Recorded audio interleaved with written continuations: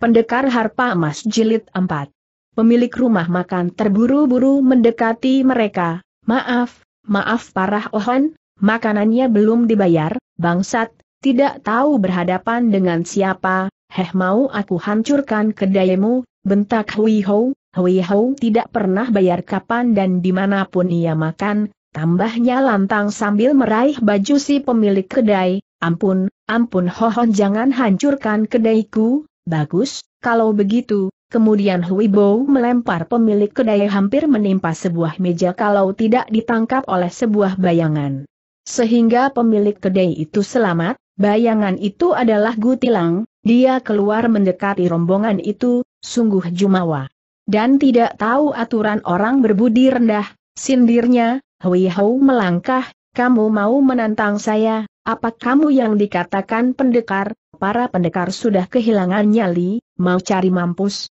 Tantangnya, melihat kejahatan dan kesewenang-wenangan ini, aku akan melupakan kebodohanku untuk memberantasnya, hahaha, hahaha, ungkapan picisan diobral, rasakan ini, tiba-tiba Hui Bo sudah menyerang, Heng Santai Hap sudah waspada, serangan itu tidaklah membuat ia gugup, malah dia membalas dengan tidak kalah hebatnya, baru 20 jurus Hui Hou sudah terlempar, serta merta keenam anak buahnya maju mengeroyok, dengan cekatan Heng San Tai Hap membagi-bagi pukulan pada keroyokan ringan ini, Hui Hou mengeluarkan cakar besinya, dengan kalapda menyerang, dibantu dua orang anak buahnya yang masih bertahan, Heng San Tai Hap masih menguasai permainan, dia adalah tokoh tingkat satu di Heng San Pai. Orang kedua setelah gurunya Lu Kuanti, namun tiba-tiba Hek Choa, Hek Hang Chu dan Sim Leong maju berbareng, empat pentolan penjahat wilayah selatan ini menyerang, sampai 50 jurus Hang San Tai Hap masih dapat bertahan,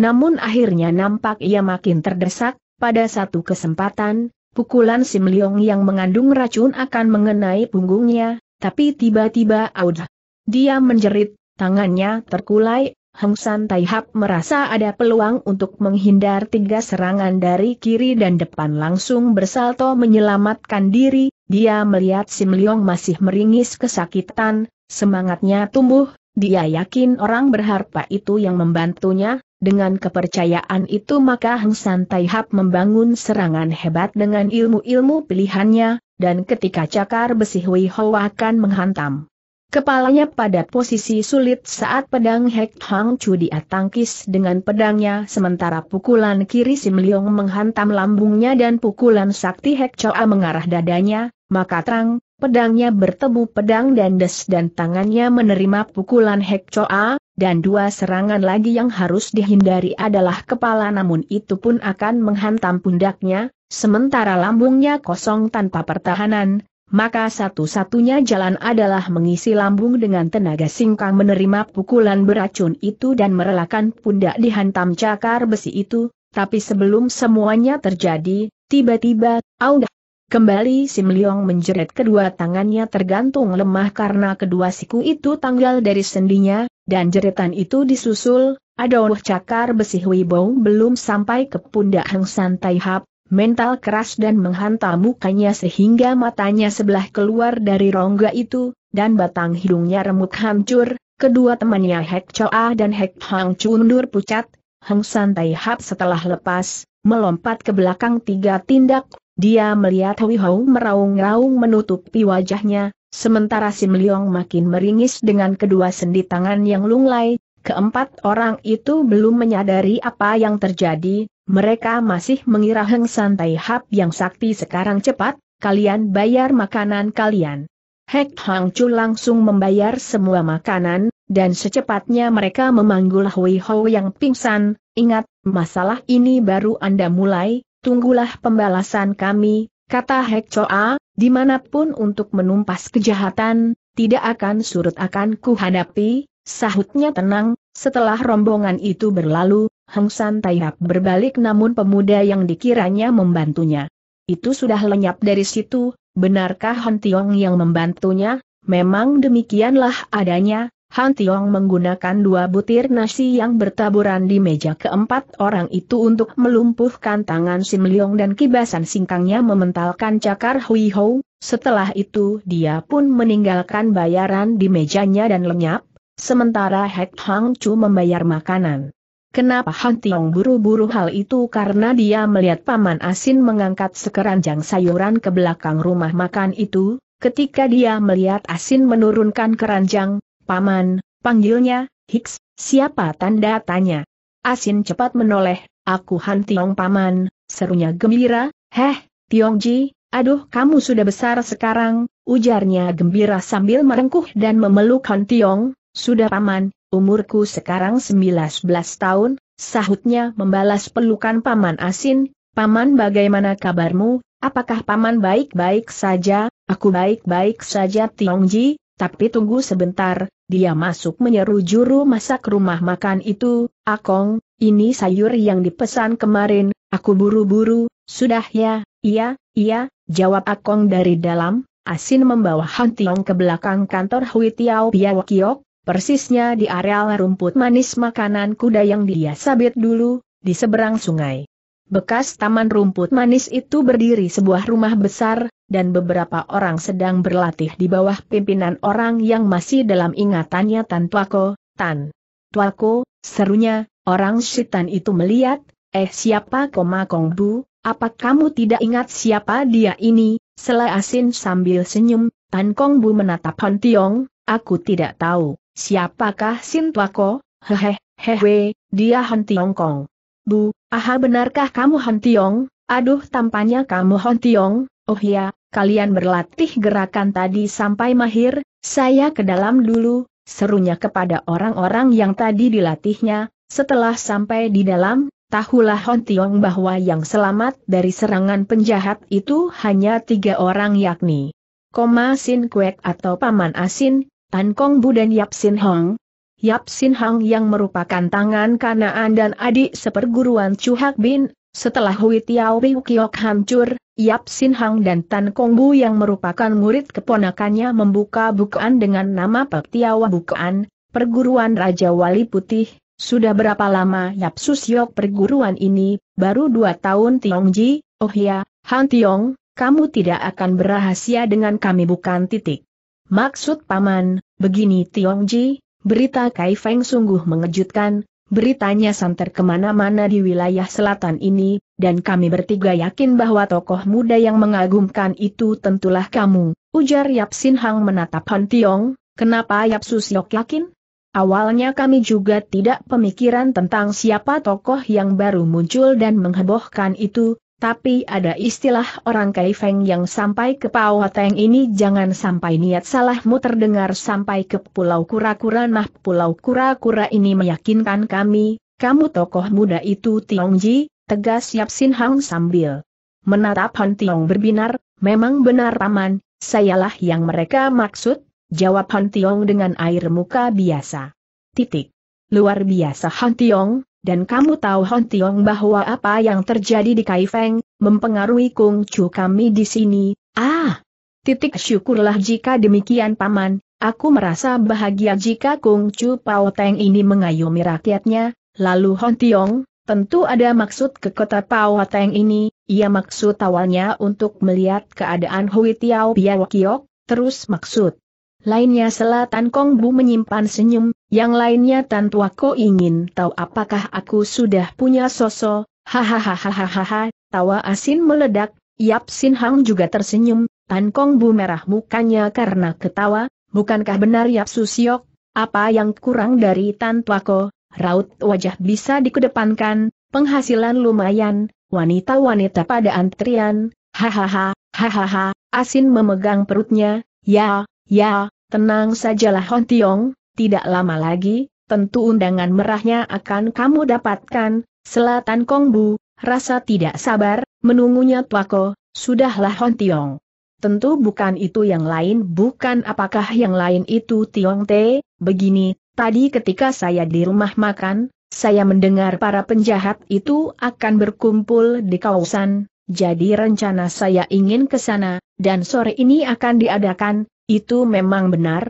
dan yang berkumpul di sana adalah pentolan-pentolan penjahat wilayah selatan ini, selayap Sin Hong, jadi sore nanti aku akan ke sana paman, HMH, dari kami hanya doa Tiongji, melihat apa yang terjadi di Kaifeng, kami maklum kamu tidak butuh bantuan kami, doa itu besar manfaatnya paman, dan saya sangat mengharapkan itu, ujar Han Tiong, Yap Sin Hang makin takjub dengan anak yang dulunya bekerja di kandang kuda itu. Sorenya Han Tiong berangkat ke Kausan, namun dia singgah ke kediaman Kung Chu Pao Teng, maaf, Anda siapa mendengar itu, Han Tiong merasa amat senang, benarlah apa yang dikatakan pamannya Yap Sin Hong, kejadian tiga. Kung Chung Kai Feng mempengaruhi Kung Chu ini, saya hanya mau menitipkan surat ini tuaku, tolonglah disampaikan kepada Kung Chu, kamu siapa, Tuako sampaikan saja ini surat dari Pulau Kura-Kura, mendengar itu,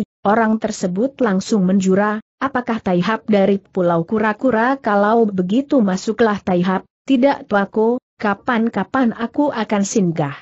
Koma biarlah suratku ini duluan sebagai tanda penyambung. Salam dari saya, saya pergi Tuako, penjaga itu tercengang entah bagaimana anak muda itu lenyap, Langsung saja dia masuk menemui Kung Chu, The Kung Chu sedang membaca buku di ruangan dalam, maaf Taijin, saya hendak melaporkan surat titipan, surat, surat dari mana? The Kung Chu meletakkan buku. Yang dibacanya, yang menitipkan surat ini adalah tokoh muda yang menggemparkan kota Kaifeng, heh, apakah ada dari kalian yang berbuat tidak senonoh sehingga saya dikirimi surat? Tanda tanya bentaknya sambil berdiri, mendengar bentakan itu, empat pengawal dalam langsung datang, ada apa Taijin, ahaha, kalian ini, coba sini suratnya, pengawal luar itu gemetar, mengangsurkan surat itu, Dekung Chu membuka surat itu dengan cemas, dan setelah membacanya,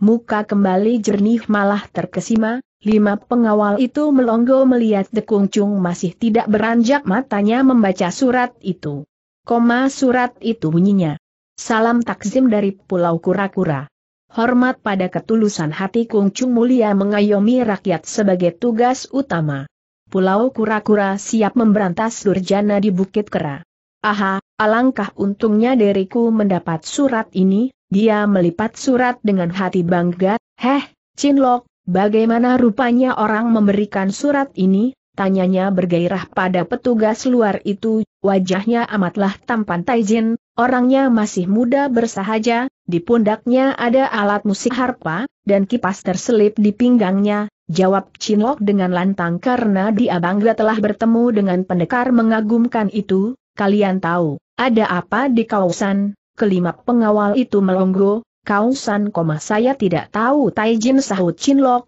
kami juga tuan, tidak tahu ada apa di Kausan. Koma cepat kalian cari tahu, dan tanyakan siapa yang tahu dan bawa ke sini, perintah Dekung Chu, setengah jam berlalu, datanglah Song Tiao, seorang pengawal patroli bersama lima orang pengawal tadi, Tiao Sichu mengetahuinya Taijin, HMH, ayo ceritakan Song Tiao, ada apa di Pulau Kura-Kura, Sore ini seluruh penjahat daerah selatan akan berkumpul mengadakan pertemuan, sambil Munjura Song Tiawa menjawab, wah, pendekar itu berarti ke sana, gumanya, baiklah, kalian bubar, dan pasang metu dan telinga kalian akan berita besok, baik Kungcu, jawab mereka serempak. Kausan mulai dipadati oleh orang rimba persilatan golongan hitam, Hekmo sudah ada di tengah-tengah mereka, Keempat pentolan yang dihajar Heng San Taihap juga sudah hadir, mereka yang berkumpul jumlahnya ada 40 orang,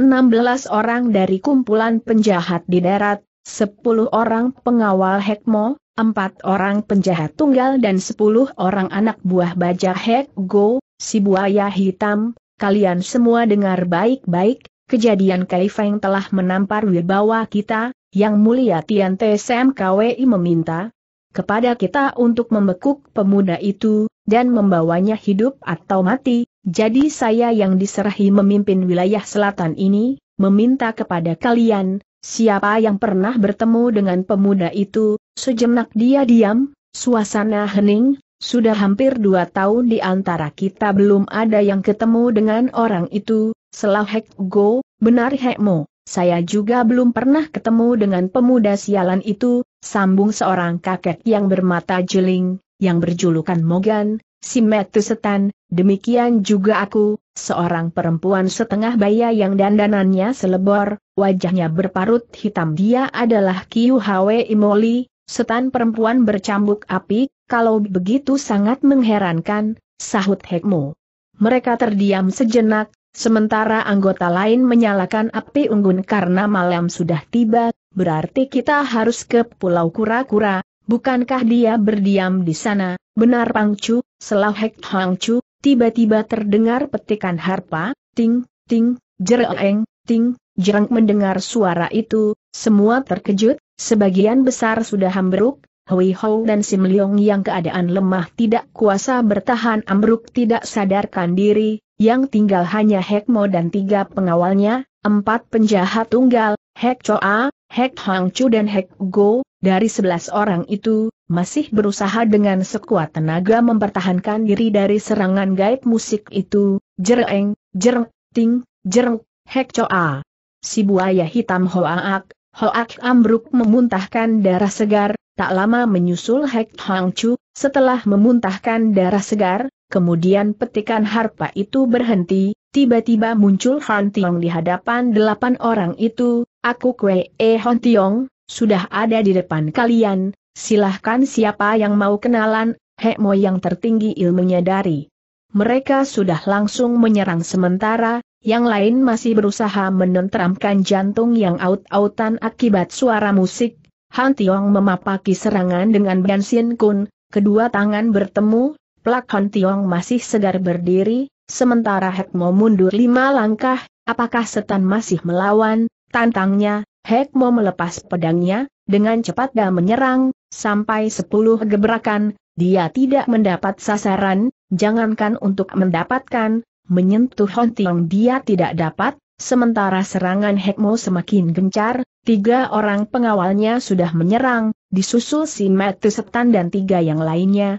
Han Tiong dikurung delapan orang yang tergolong sakti ilmu silatnya. Han Tiong mengeluarkan kipasnya dan mulai memapaki serangan beruntun dengan lohai San Hoat. Han Tiong masih tenang, mengikuti permainan, tiada pun sedikit kecemasan dari raut wajahnya, dengan kipasnya seluruh senjata yang menyerang terpental ditiup hawa kibasan yang penuh singkang, sementara, Pat Sian Kiam Hoat yang digunakan dengan tangan kosong menyabet dan menusuk tubuh penyerang, pada jurus ke-50, saat kipas Han Tiong mementalkan cambuk Wi Hwe Imoli dan menotok muka Mogan hingga kelabakan, dan pedang Hekmo yang membabat mental oleh hawa singkang kibasan sehingga melenceng mengarah paha pengawalnya, tusukan dan sabetan Pat Siam Kiam. Hoat dengan tangan itu mengenai dada dua pengawal Hekmo yang lain hingga terjungkal muntah darah, belum selesai keterkejutan mereka, kening Kiu Hwe Imoli kena totok oleh gagang kipas yang tiba-tiba menguncup,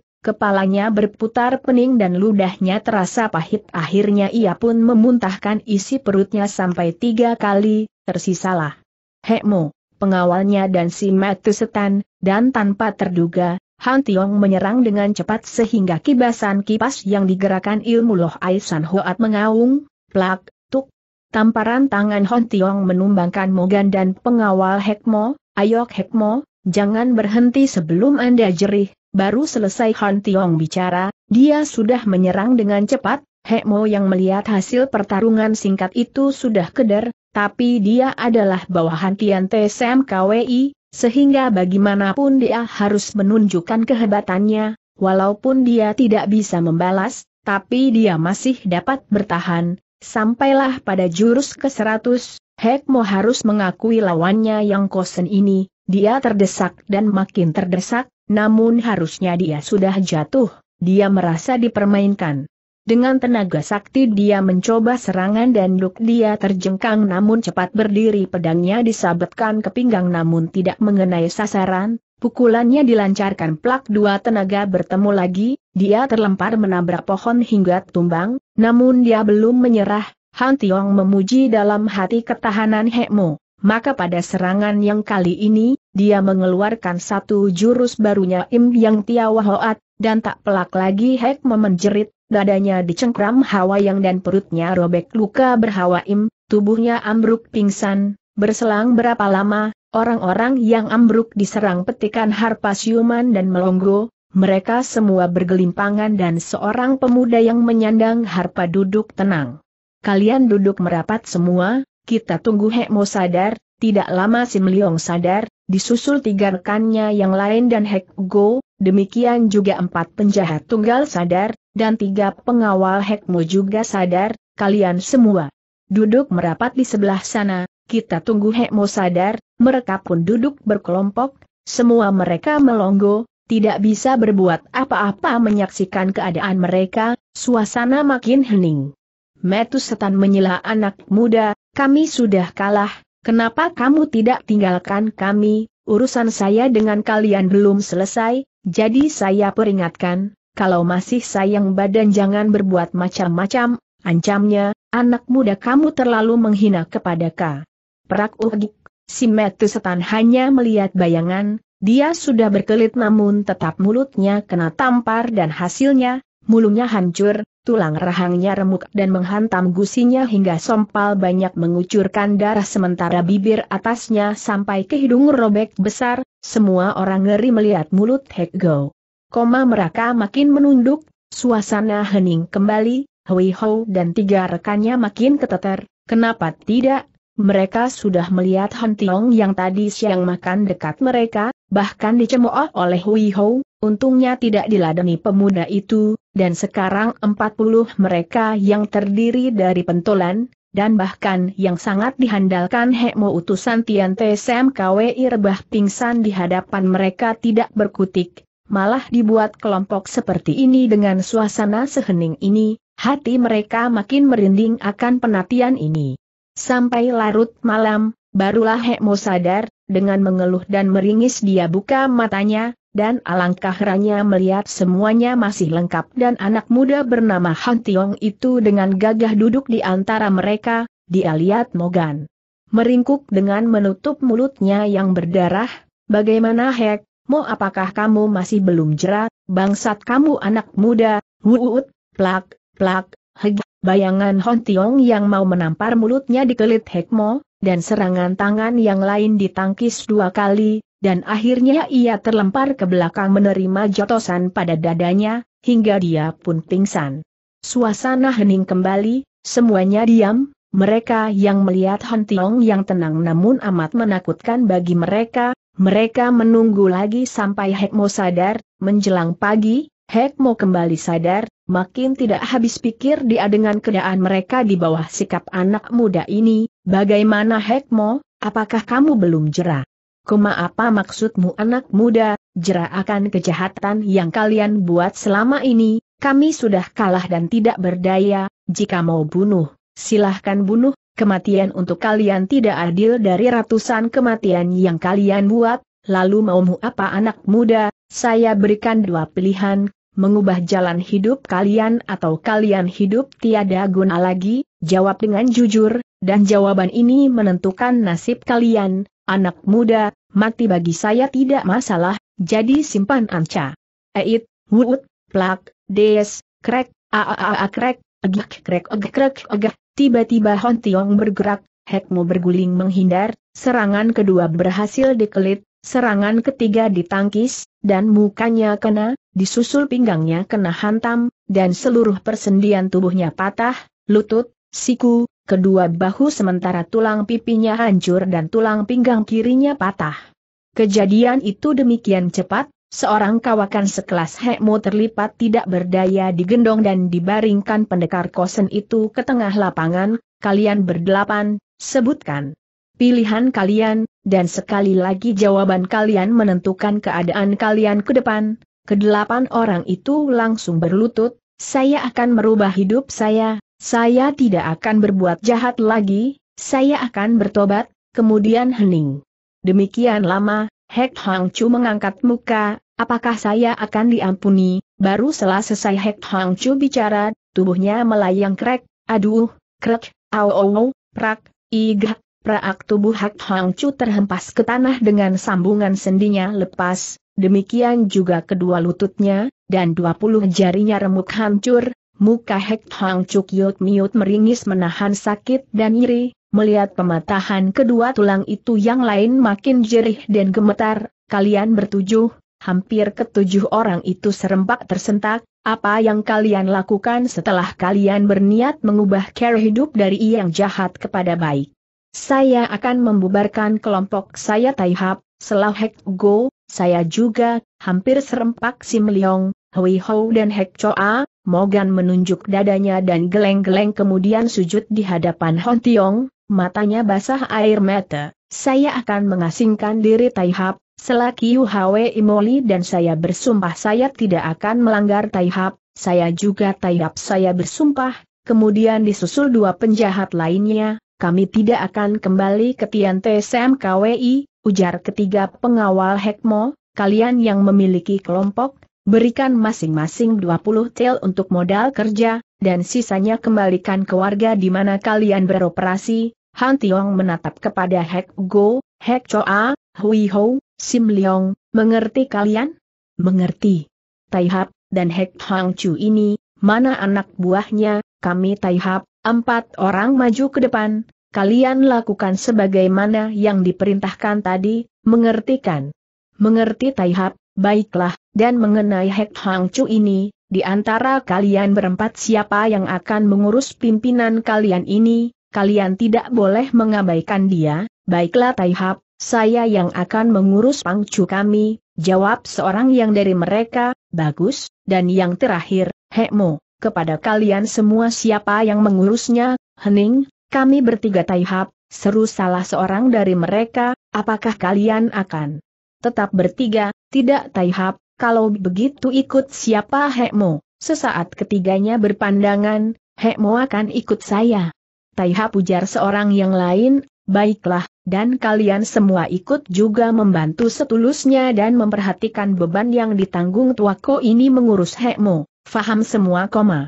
Faham Taihap, hari sudah hampir siang dan kita semua tentu lapar, maka bagi yang ada bekal tolong dimasak, dan kalau kita bisa mendapatkan seekor kijang untuk dimakan alangkah bagusnya, semuanya melongo heran, bukankah baik, kalau kita makan bersama di sini, bagaimana menurut kalian, ujarnya sambil menatap orang di sekelilingnya, baiklah Taihap, sebagian kami akan mencari kijang, sebagian persiapakan kayu bakar, sahut salah seorang dari pengawal Hekmoko, kemudian ketiga orang itu berangkat, dan yang lain mempersiapkan kayu bakar dan membuat api lagi, memang rezeki mereka lagi nomplok. Dua ekor kijang besar sudah didapatkan, dan mereka pun pesta di hutan itu, Hekmo. Hek Hang Chu disuapi makan bubur, tiga jam mereka pesta, baiklah si Chu sekalian, karena kesepakatan sudah pun dipegang, perut pun sudah kenyang,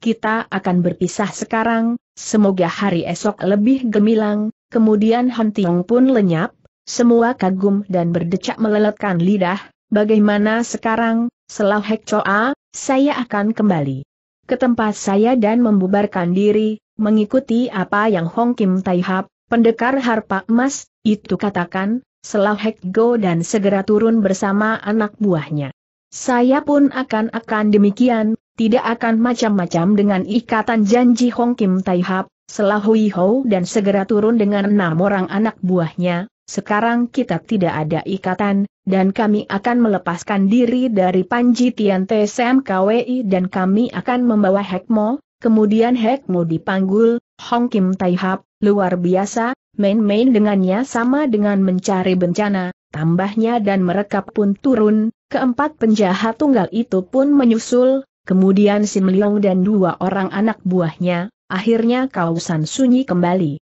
Han Tiong kembali ke Pek Tiawa Bukaan, bagaimana urusanmu? Tiong Ji tanya Yap Sin Hong, berkat doa Yap Susiok, sepertinya berhasil, syukurlah kalau begitu, Han Tiong tinggal di Petiawah Bukaan selama sebulan, dan Yap Sin Hang sangat beruntung karena jurus Raja Wali Bukaan itu dikokohkan oleh Hon Tiong, bahkan selama sebulan itu Hon Tiong menciptakan ilmu Pek Tiao Kiam Hoat, pedang Raja Wali Putih, dan Tin Pek Tiao, formasi Raja Wali Putih, yang dijalankan empat orang, Yap Sin Hang tidak mampu melukiskan kebahagiaan dan kegembiraannya dengan dua ilmu itu, dan juga selama sebulan itu santerlah berita bahwa para kelompok penjahat di seluruh wilayah selatan membubarkan diri. Berita itu ditenggarai bajak laut buaya hitam yang kembali ke darat dan sebagian jadi nelayan seiring santernya julukan Hong Kim Tai Hap, Yap Sin Hang di suatu kesempatan tidak bisa menahan. Harunya, ketika Han Tiong hendak meninggalkan mereka Tiong Ji, apa yang kamu lakukan ini, satu hal yang amat mencengangkan dan membuat hati meledak haru dan gembira. Koma terima kasih Tiongji, sudah lan paman, yang jelas mari kita sama menjaga kondisi ini, benar Hong Kim Tai Hap, seru Yap Sin Hang berlutut, Han Tiong terkesiap, langsung membangkitkan Yap Sin Hang, paman, aku adalah Kue E Hong Tiong, masih keponakanmu, jangan buat merasa diasingkan dengan sebutan ini, ahaha, Tiongji, keluhnya sambil memeluk Han Tiong dengan tangis haru, Tan Kong Bu dan Sin Kuek juga berurai air mata, sudah paman, mohon izin hari ini aku akan berangkat, dan Tan Tuako, jangan lupa, kalau sutemu ini datang singgah lagi ke sini, aku sudah melihat sosok di samping Tuako, mendengar itu tidak dapat tidak mereka. Tersenyum, baiklah, Tiongji,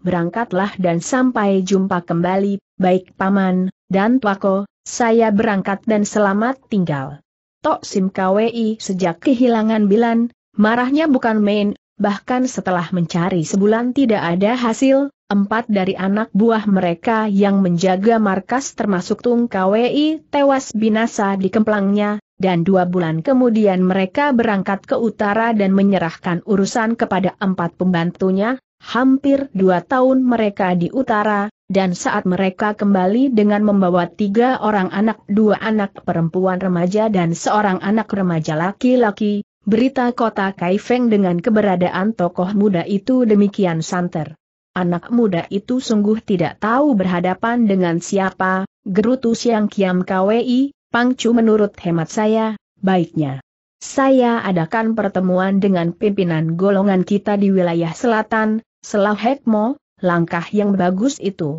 Koma terlebih wilayah selatan itu di bawah komandomu, dan setelah itu ringkus anak muda itu dan bawa ke sini hidup atau mati, baik Pangcu, hari ini juga saya akan berangkat. Setelah Hekmo berangkat dengan 10 pengawalnya Tian TSMKWI mengadakan rencana untuk mendatangi dan menantang delapan partai, Sementara di bagian taman dua orang darah remaja sedang berduel seru dengan kecepatan yang menakjubkan ditonton seorang anak laki-laki remaja, ketiga anak remaja itu, seorang darah remaja itu berwajah oval bulat, dengan kedua mata bulat bagus dengan kulit putih, namanya Benito anak keturunan Butan, Benito ini adalah murid Siang Kiam KWI sejak umur lima tahun, dan dititipkan kepada gurunya di pegunungan Himalaya, dan sekarang sudah berumur 14 tahun, sementara yang berwajah cantik dengan tubuh semampai adalah Lumina seorang anak keturunan Hitan. Dia adalah murid Tok Sim KWI yang dititipkan kepada suhengnya di Hangsi umurnya 15 tahun, sementara anak laki-laki adalah murid Toat Beng KWI yang selama ini berada di luar tembok bersama sutenya, umur anak ini 14 tahun namanya Pao Sin Hong. Sungguh luar biasa, Puji Po Sin Hang setelah keduanya berhenti, Hishipo, coba kamu tunjukkan kehebatan kamu. Koma supaya matu kami lihat, selalu Mina, baik, sekarang perhatikan aku akan bersilat tangan kosong KWING SWE. Goat, dengan cekatan dan penuh hawa singkang pukulan dan cakaran merebak di sekitar tempat itu, bagian ilmu Toat Beng KWI itu baru dikuasai setengah, namun hasilnya amat luar biasa. Titik setelah Po Sin Hang berhenti, berdenyar tepuk tangan kedua darah remaja itu memuji. Malam itu Tian KWI mengadakan pembicaraan serius, Bangsat Kroco, bagaimana Hekmo tidak pernah kembali, ini sudah enam bulan, bahkan apa hasil pertemuan yang mereka lakukan di selatan tidak kita ketahui, dan utusan yang dikirim ke sana pun sudah kembali dengan laporan tidak berarti, ujar. Toat Beng KWI marah. Ini sungguh mengherankan, selas yang Kiam KWI sambil mengelus jenggotnya, dengan kejadian ini memang kita telah dikadalin anak muda itu, tambah Tok Sim KWI. Koma dan saya yakin bahwa laporan utusan kita yang mengatakan muncul pendekar dengan julukan Hong Kim Tai Hap adalah anak muda itu juga orangnya, lalu bagaimana menurutmu Tok Sim? Koma tanya Toat Beng KWI, kita suruh Pek Mo, Jeng Mo dan Ang Mo mengambil kepala Hong Kim Tai Hap, ya, menurutku juga kita tugaskan ketiganya untuk berangkat besok, kemudian ketiganya pun dipanggil, kalian bertiga, cari Hong Kim Tai Hap. Koma ringkus dia dan bawa ke sini hidup atau mati, baik Pangcu, kami akan laksanakan, kami tidak mau sudah sebelum mendapatkannya, berita yang memanaskan telinga ini harus diredam dengan nyawa pemuda itu, sahut Angmo. Betul Angmo, kami tidak sabar menanti hasil kerja kalian, siap Pangcu, baiklah, kalian boleh bubar, ujar Toat Beng KWI. Suasana dalam ruangan bawah tanah itu sangat memilukan, di mana seorang ibu yang belum tergolong tua ditangisi seorang gadis, kedua perempuan itu adalah Tan Shonyo dan Bilan, yang sudah lima tahun berada di situ, dan selama lima tahun, Bilan belajar ilmu dari peninggalan Empek Gan yang mereka jumpai di ruangan bawah tanah itu, dan beberapa bulan yang lalu Tan Shoknimo jatuh sakit, Sakit ini sebenarnya sudah dari awal saat mereka melarikan diri dari sarang Tian TSMKWI, ketika bergulingan, dada Tan Shok mau tertumbuk batu, namun dia tidak merasakannya demi untuk mencari keselamatan mereka dari kejaran Tian TSMKWI, kemudian saat mereka melompat tubuh yang berpelukan itu, dan posisi Tan Shonyo yang berada paling bawah menghantam dasar sumur yang basah dan lembek tapi mengandung batu koral membuat beberapa urat nadinya putus, namun tetap masih tidak dihiraukan, setelah mereka pun selamat dari pengejaran dan hidup di bawah tanah itu. Tetap dia menunjukkan keuletannya untuk mengurus anak perempuannya ini, dengan muka tetap tersenyum di balik nyeri untuk membuat Bilan tetap tabah, namun setelah lima tahun, tubuh itu makin lemah, dan dua minggu terbaring tanpa daya, hari itu dia memanggil anaknya, Lanji, serunya lemah, Bilan langsung mendekati ibunya, iya bu, rasanya ibu tidak kuat lagi nak, ah, apa yang ibu bilang, ibu akan sembuh, sebentar lagi pintalan serat-serat pohon yang kita kumpul selama ini akan kita dapat gunakan untuk turun ke lembah di bawah, kuatkan dirimu ibu, Aku akan bawa ibu keluar dari sini, katanya lirih. Tan Shok Nima menatap wajah putrinya, senyumnya dipaksakan sambil meremas tangan. Putrinya, Lanji, ibu mau mengatakan sesuatu padamu, perihal dirimu, iya bu, Bilan mendengarkan, dengan mengumpulkan tenaganya, Tan Shok berkata, Lanji, aku sebenarnya bukan ibu kandungmu, aku tidak tahu siapa sebenarnya dirimu, Aku dapatkan dirimu di tempat iblis itu umur satu tahun, suamiku dibunuh dan aku diculik dan dibawa ke sarang mereka, anakku Hantiong entah bagaimana nasibnya.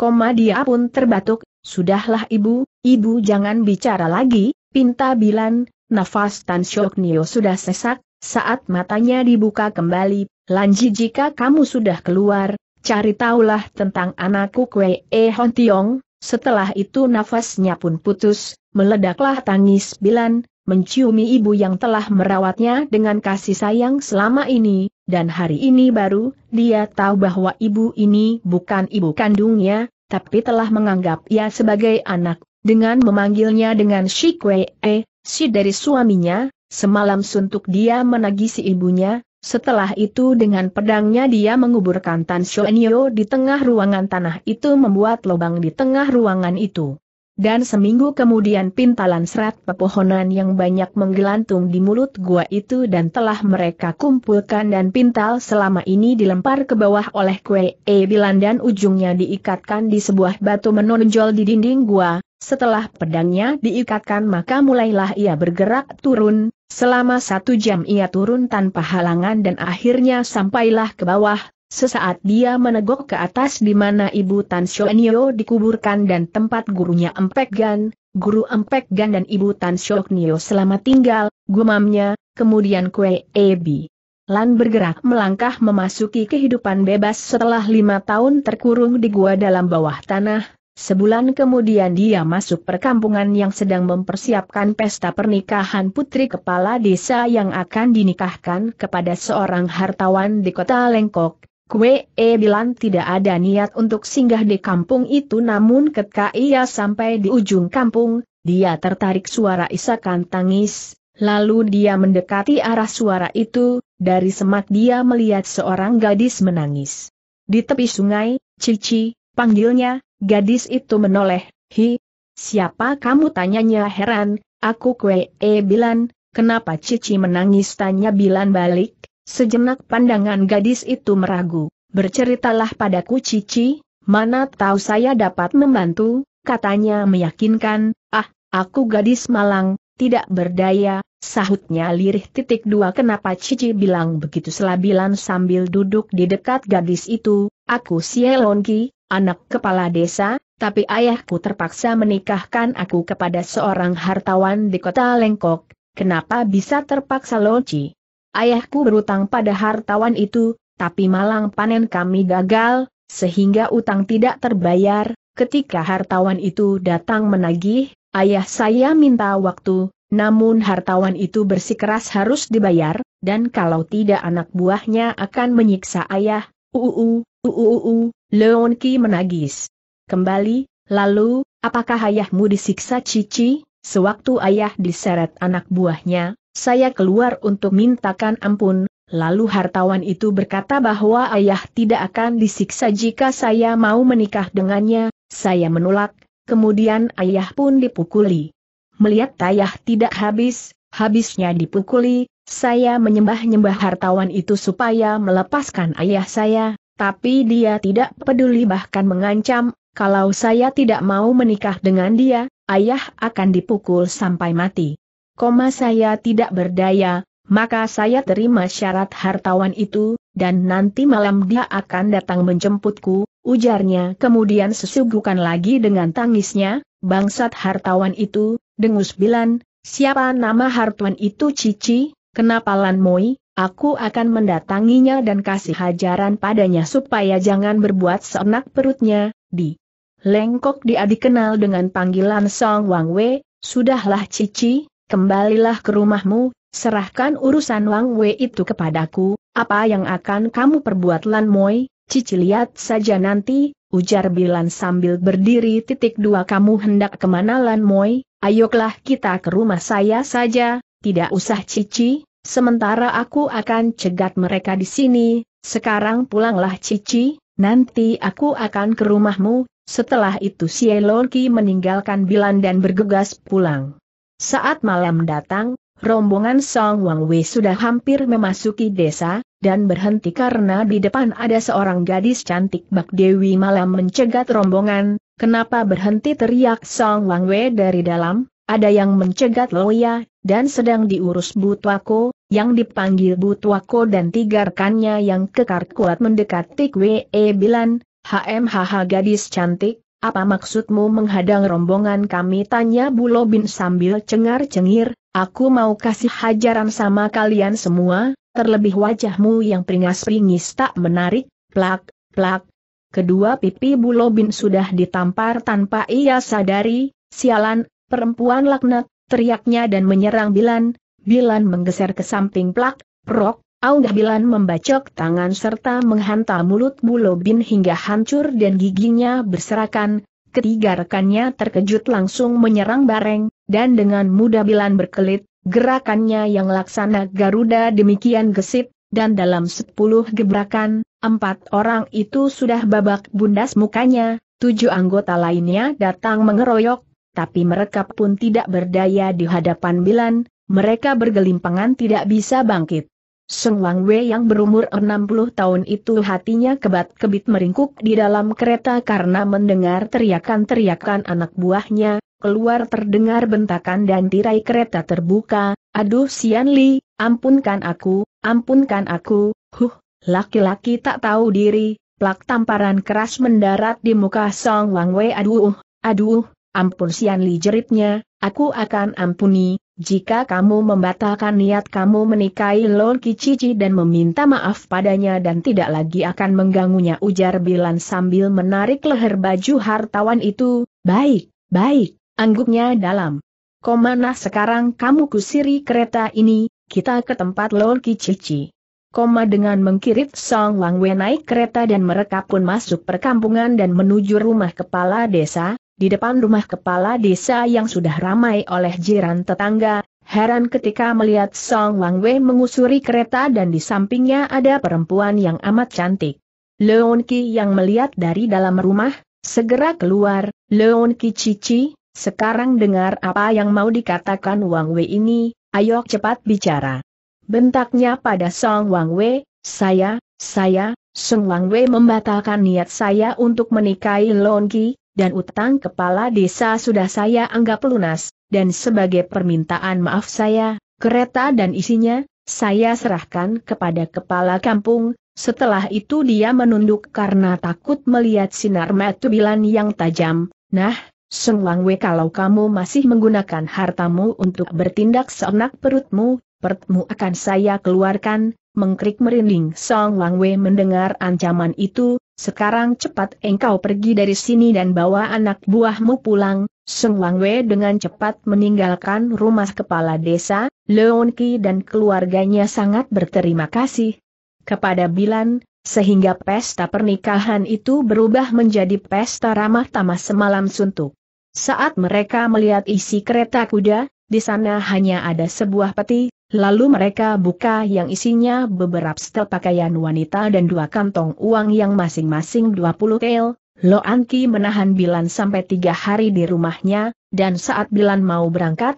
Lo Anki memberikan empat setel pakaian dan orang tuanya memberi sekantong uang 20 tel. Bilan tidak bisa menolak karena terus didesak, saat pagi dia berangkat dari kampung itu, saat malam Bilan telah memasuki kota Lengkok, dia mencari penginapan untuk bermalam, setelah istirahat dan tidur nyaman di penginapan, paginya setelah mandi, tubuhnya terasa segar, ia turun ke bawah untuk makan dan ternyata banyak juga tamu yang bermalam, Bi. Lan memesan makanan dan minuman, umurnya yang baru 18 tahun dengan wajahnya yang cantik dengan kulit putih mulus dengan kejora matu yang cemerlang di bawah alis matanya yang indah, hidungnya yang mancung amat menawan dan terlebih aroma tubuhnya yang wangi membuat tamu-tamu yang memandangnya terpesona, namun tidak ada mulut yang usil mengganggunya titik dua bilan yang melihat demikian banyak tamu yang semuanya orang persilatan, merasa tertarik maka saat pelayan menghantar makanan pesanannya, lepek, orang, orang ini mau ke manakah? Sepertinya ada sesuatu yang penting di lengkok ini, oh, tamu-tamu ini akan pergi ke Tai Sampai, ada apakah di sana Lopek? Ketua Tai Sampai sedang mengadakan ulang tahun ke-100 perguruannya, jawab pelayan itu, oh, begitu, terima kasih Lopek, ya Shocia. Koma sahut pelayan itu meninggalkan Bilan. Tai Sampai yang diketuai Oye Bong yang berumur 70 tahun hari itu mengadakan ulang tahun yang ke-100 perguruannya, dari tiga hari yang lalu, murid-muridnya, sudah mempersiapkan segala sesuatunya, panggung sudah didirikan. Koma meja dan kursi sudah diatur, dan pagi persiapan penyambutan tamu sudah siap sedia yang terdiri dari murid kedua dan ketiga, setelah semua tamu duduk di tempat yang sudah disediakan, baik bagi tokoh tua maupun muda, Oye Bong bersama empat orang murid pertamanya keluar, para tamu yang membawa bingkisan bangkit untuk memberikan bingkisannya masing yang diterima oleh dua orang murid ke satu dan menyalami Oye Bong, setelah itu, Oye Bong memandang seluruh tamunya, di bagian tamu golongan tua, ketua delapan partai besar hampir hadir semua, kecuali Li Hos yang dari Siaw Limpai tapi diwakili oleh murid tingkat satu Lui Kok Hos yang seorang pendeta bertubuh sedang berumur 50 tahun, dan Kun. Lun Tojin dari Kun Lumpai yang diwakili murid kedua Xie Anbun yang berjubah tosu dengan perawakan tinggi kurus berumur 50 tahun, Cui yang terhormat dan para Lon Cimpawe yang mulia, sungguh kami keluarga Tai sampai, merasa gembira dan ucapan terima kasih yang banyak kepada si Cu semua, atas sudinya para Ek Hong menghadiri ulang tahun perguruan kami, jadi untuk itu kepada si Chu semua, marilah kita bersulang tiga cangkir arak akan pertemuan yang menggembirakan ini, dan setelah ini, hidangan kami yang sudah terhidang,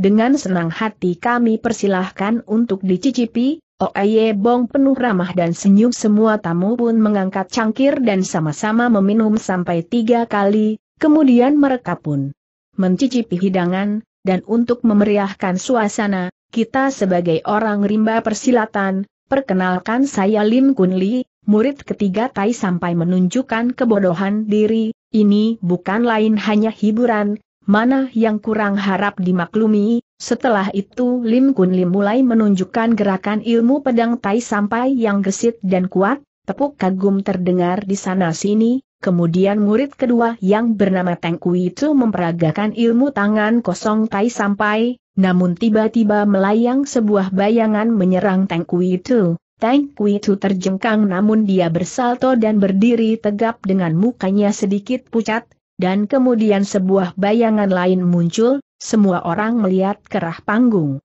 Ternyata yang menyerang Teng Kui Chu adalah Pekmo dan bayangan berikutnya adalah Angmo. Apa maksud kalian mengacau di sini? Tegur Teng Kui Chu. Hahaha, hahaha, tan sampai berani berlagak di depan utusan Tian Tsem KWI, hayo ketua Tai sampai, aku Pek mewakil Tian Tsem KWI akan menghajar Tai sampai, di antara tamu itu pada tempat duduk perempuan ada lima orang, dan salah satunya adalah Kwe E Bilan, dia kenal dengan kedua tokoh ini, walaupun hatinya terkejut namun dia tabah dan tenang. Sungguh lancang pengacau yang tidak tahu diri, biang ngonar di segala tempat, akulah lawanmu teriak Kam Song Bu, seorang murid pertama Tai sampai, hehehe, hahaha, baiklah sebelum pohonnya dirubuhkan, dahannya juga harus dipangkas dulu, Ciaat, tanpa peringatan Pekmo menyerang gesit dan berbahaya, Kam Song Bu menyambut serangan dengan tangkas dan kokoh,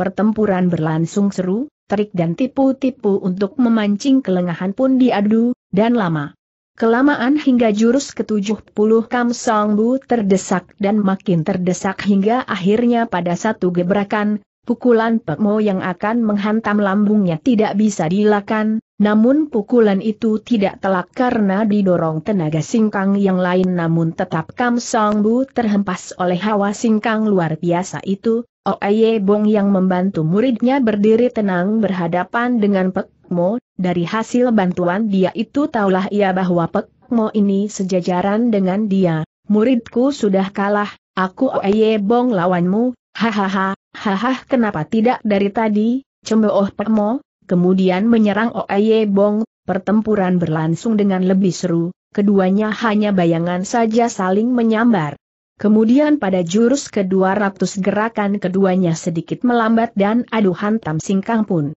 Makin menggetarkan tempat itu, muka Oye Bong sudah basah oleh keringat, dan Pekmo juga mukanya yang putih itu semakin pucat. Pada saat adu pukulan di mana kedua telapak keduanya saling berbenturan sehingga kemudian keduanya terlempar lima tindak sementara Oye Bong terlempar ke arah Ang Mota Ayah Angmar mengirim pukulan yang akan menewaskan ketua ini, namun saat gerakan pengepusan tenaga yang dilakukan Angmo, saat semua orang golongan tua berteriak curang, ting, jereng terdengar alunan musik, dan akibatnya Ang Mo yang sudah mengepos tenaga ini memuntahkan darah, orang semua terkejut termasuk Pak Mo yang melihat rekannya, Ang Mo merasa jantungnya berdenyar ketika mendapat serangan alat musik itu, sehingga singkang yang tetahan itu menghantam dirinya sendiri, untungnya tenaga yang ingin digunakannya hanya seperempat bagian sehingga tidak mengalami celaka yang parah,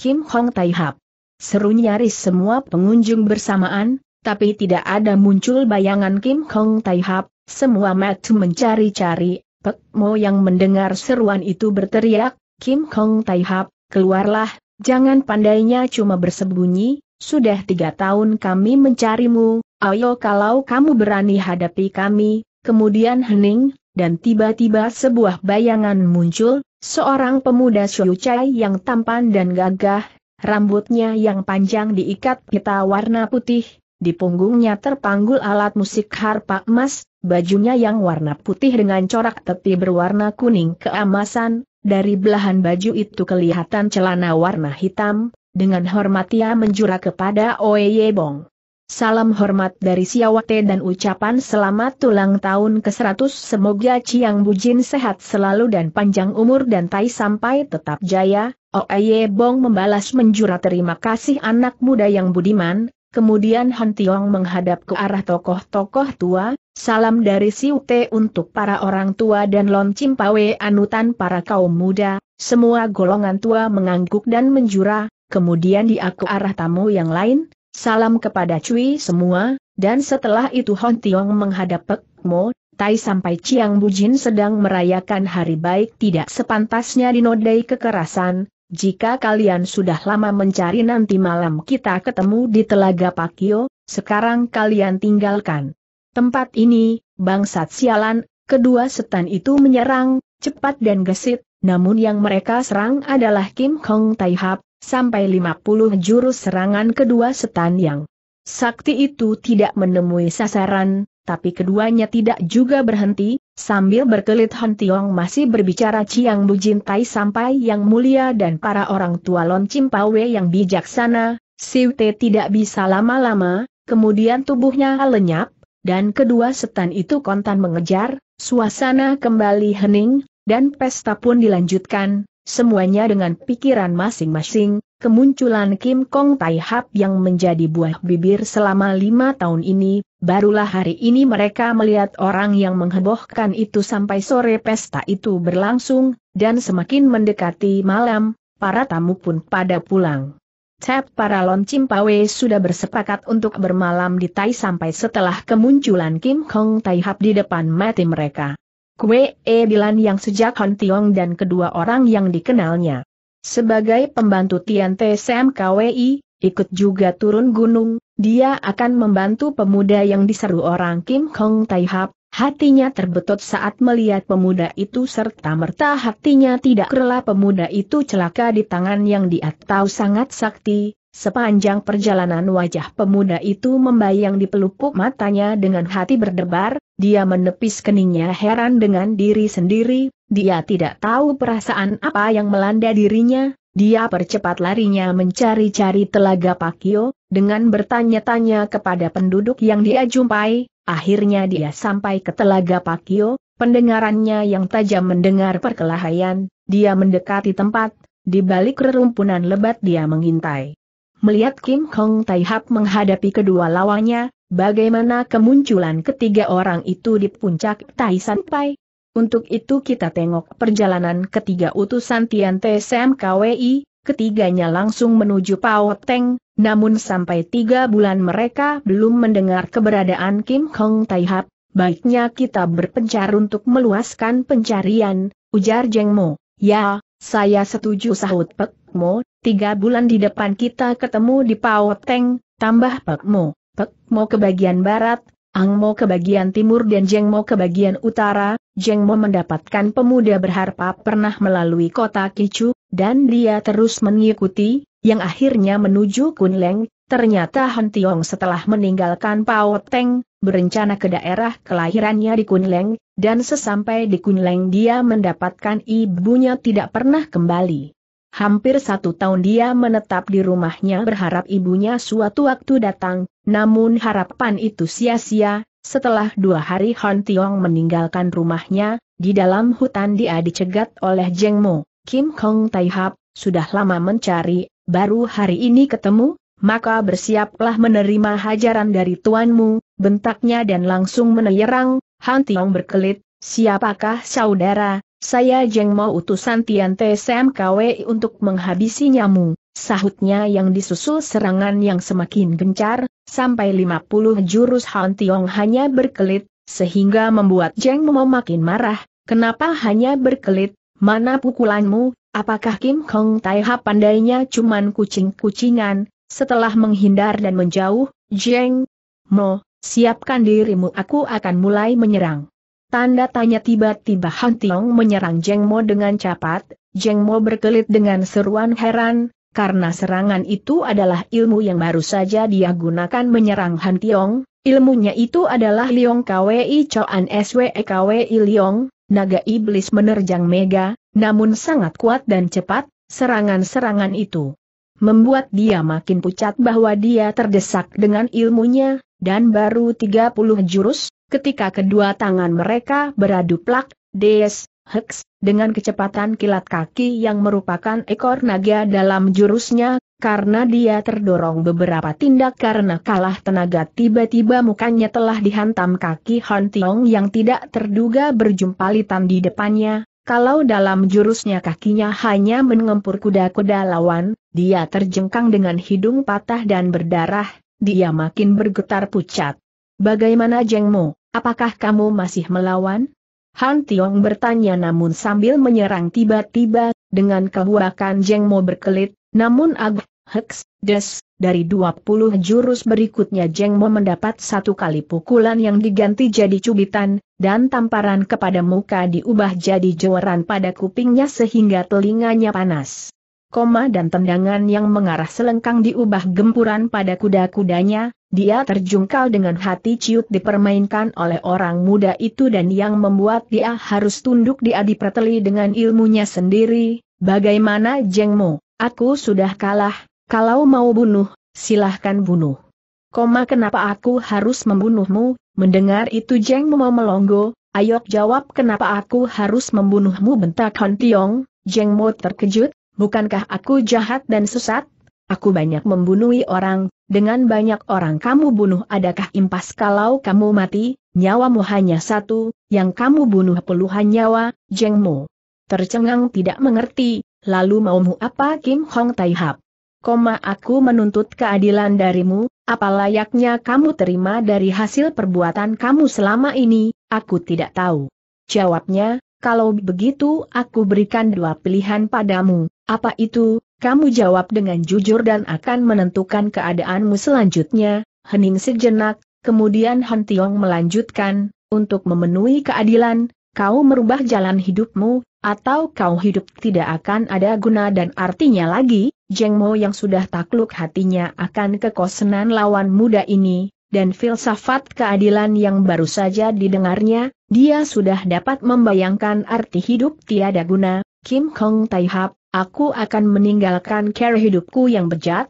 dan berusaha memperbaiki diri. Hari ini mataku terbuka betapa tidak adil jika kematianku yang hanya sekali, dibanding banyak kematian yang dibuat oleh tanganku, sisa umurku ini akan kubaktikan untuk banyak menyelamatkan nyawa, ujarnya lirih dan air matanya pun mengalir tidak tertahan. Baguslah paman, jika pemahaman paman sampai ke sana, Aku sangat gembira mendengarnya, untuk luapan kegembiraanku ini, aku akan memberikan sesuatu kepada paman, jika paman tidak merasa terlalu tinggi untuk menerimanya, Jeng Mo tercengang, seakan tidak percaya dengan apa yang didengarnya, bahwa karena gembira anak muda itu ingin memberikan sesuatu kepadanya dan itu pun kalau dia tidak merasa tinggi, hatinya penasaran, apa maksudmu Kim Hong Taihap, Panggil aku Kue E Hon Tiong, Paman, baiklah Hon Tiong, apa sesuatu yang kamu maksud, aku akan mengubah jurus Paman tadi untuk lebih baik, Jeng Mo terkejut, apakah Paman berkenan, ah, Han Tiong, sungguh aku takjub akan dirimu, dan tentunya aku tidak merasa rendah, dan bahkan bergembira, jika aku mendapat petunjukmu hal ilmu silatku, jawabnya dengan mata berkaca. Kaca, kalau begitu paman, marilah kita ke rumahku di Kunleng. Koma di sana kita akan berdiam beberapa lama. Kemudian mereka ke tempat Han Leong di Kunleng, setengah tahun mereka di Kunleng, ilmu Leong KWISW Echoan milik Jeng Mo digubah menjadi 15 jurus inti dan mengubah namanya dengan Choan Swe E Jeng Leong SW Echoan, naga hijau menerjang Mega, dan bahkan Hon Tiong menciptakan jurus baru untuk Jeng Mo yakni Hokte Jeng Leong, naga hijau mendekam bumi, yang pertahanannya amat kokoh dan daya serang yang kuat inti keampuhannya jika sudah diserang. Jeng Mo yang sebenarnya bernama Sieh Hui Bin berdecak kagum dengan ilmu baru ini dan sangat berterima kasih pada Han Tiong memperoleh ilmu baru itu. Ketika mereka akan berpisah, Tiong Ji, Panggilan Sieh Hui Bin kepada Han Tiong, ya paman, saya akan ke lembah naga. Jika ada kesempatan singgahlah ke sana, baiklah paman, jika luang dan umur masih ada, akan singgah di sana, kemudian berpisahlah keduanya, sementara, Pek Mo dan Ang Mo sebulan kemudian bertemu di Pao Teng, dan mencari bersama, tapi tidak berhasil, dan rekan mereka Jeng Mo juga tidak mereka ketahui, dan akhirnya mereka bertemu Kim Hong Tai Hap di Tai Sampai. Kembali kita ke Telaga Pakio, Pek Mo dan Ang Mo menyerang bertubi-tubi hawa pukulan merobek udara di aral perkelahian, kegesitan dan tipu-tipu mematikan dikeluarkan, ilmu simpanan diandalkan, kipas Han Tiong dengan permainan Lohai San Hoat berusaha membendung dan mengacaukan segala serangan, dibarengi kepiawaian gerakan tangan yang kadang membacok, menusuk dengan permainan Pat Sian Kiam Hoat. Permainan sudah menginjak jurus ke seratus, beradunya singkang yang dengan tenaga Bian Sin Kun, memapaki pukulan singkang dari Pek Mo dan Ang Mo, Kue E Bilan yang menyaksikan pertempuran demikian terkesima, dan demikian kagum ketika Han Tiong mengeluarkan jurus Im Yang Pet Hoat. Koma yang dimulai dengan Im Yang Tiawa Hoat yang memiliki lima kembang jurus, dan pada jurus ketiga, Des, Bu, kaki kanan Hon Tiong menghantam paha Pek Mo dengan tenaga im dan tangan kanan mencengkram perut Ang Mo dengan tenaga yang, kontan saja. Keduanya abruk ke bumi, muka Ang Mo wajahnya memerah menggeliat laksana cacing kepanasan, sementara Pek Mo mukanya pucat menghijau dengan badan menggigil kuat akibat kedinginan yang sangat, Dua tokoh iblis yang mengiriskan itu tergeletak tidak berdaya, dan akhirnya mereka diam tidak bergerak pingsan. Han Tiong duduk dengan tenang di bawah pohon, menanti mereka sadar, pikirannya bertanya tentang perempuan yang mengintai di balik rimbunan lebat di sebelah kirinya, namun dia diamkan saja, Kwe Ebelan yang memperhatikan keadaan itu makin heran, Kenapa pemuda itu tetap di tempat seperti menunggu, apakah kedua setan itu sudah tewas, pikirannya berkecamuk, tapi dia tidak beranjak dari tempat itu, dan makin penasaran, selama menanti kue E Bilan jadi terfokus pada wajah tampan itu, hatinya rasa terbetot terpana, his, apa-apaan aku ini, dia goyangkan kepalanya untuk menghilangkan ketertarikannya pada pemuda itu, satu perasaan yang belum pernah dialaminya, membuat hatinya berdegup kencang. Perasaan hati yang muncul dimulai dari saat melihat anak muda yang duduk tenang itu di Tai sampai, berselang dua jam, An. Mau bergerak, dengan lemah ia bangkit dan matanya menangkap tubuh yang duduk tenang di bawah pohon, tubuh Kim Kong Tai Hap, dan di sebelah kanannya tubuh rekannya Pek Mo, tergeletak diam tidak bergerak, entah masih hidup atau mati, tidak berapa lama terdengar keluhan, Pek Mo, siuman dari pingsannya, dan bangkit dengan tubuh masih terasa dingin, kalian sudah siuman, sekarang mari kita bicara. Koma ujar Kim Hong Tai Hap. Keduanya saling berpandangan tidak mengerti, apa maksudmu Kim Hong Tai Hap, tanya Ang Mo.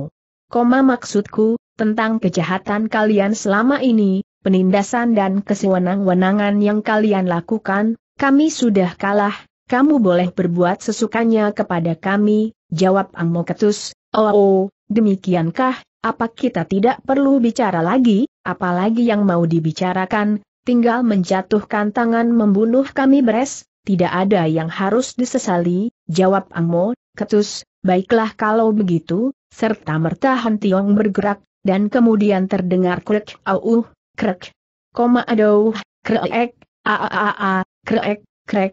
krek, praak, praak, buuk tubuh Angmo yang seperti bola dipermainkan ambruk dalam keadaan pingsan dengan sendi bahu, siku, lutut patah dan 20 jari remuk, Sebelum tubuh itu ambruk Tiong duduk kembali di tempatnya, baik Pek Mo dan Bilan yang menyaksikan kejadian cepat luar biasa itu masih melonggo dan ngeri dan mereka tersadar dari keadaan itu saat mendengar Tiong membuka suara dan sekarang kamu Pek Mo, apakah kita layak bicara, Pek Mo tergagap, a, a, apa yang mau dibicarakan, kamu saya tanya apakah kita layak bicara, bentak Tiong, i, iya, kita boleh bicara, sahut Pek. Mo disela keterkejutannya, dan hatinya makin gelisah, cemas, kamu sudah banyak melakukan kezaliman, banyak nyawa telah kamu hilangkan, menurutmu apakah kamu layak mati, heran, dan bengong Pek